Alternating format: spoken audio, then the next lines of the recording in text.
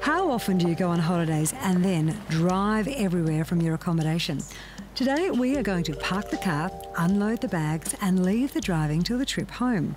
Our destination? RAC Karri Valley Resort, just outside of Pemberton. Get ready to de stress. Now, I've been here before without the kids. I loved it. This time I brought the family. May live to regret that one, but nevertheless, this is a destination with something for everyone.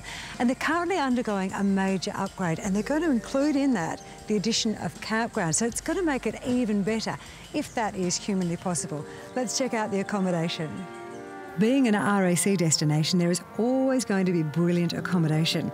And Karri Valley is quite unique because when it was originally built, it was designed as a luxury resort in the forest. So there are two and three bedroom chalets with fires for the winter months and studios with lake views. A great place for a romantic proposal, if you ask me. No matter what accommodation you choose, you can be guaranteed that a couple of the locals, or more, will come over to introduce themselves. Karri Valley is hidden away in the forest and nestled on the banks of Lake Beedelup. There is just so much nature to explore, or if you looked at it another way, to help you escape the outside world. Being secluded away in a forest means a lot of gadgets don't work out here. Forget the Wi-Fi. This really is a place to, I suppose, uh, disconnect and then reconnect, if that makes sense. And that's fine because there are so many things to do within walking distance of your front door. If you desperately need Wi-Fi though, don't tell the kids. It's available down at reception and in the restaurant.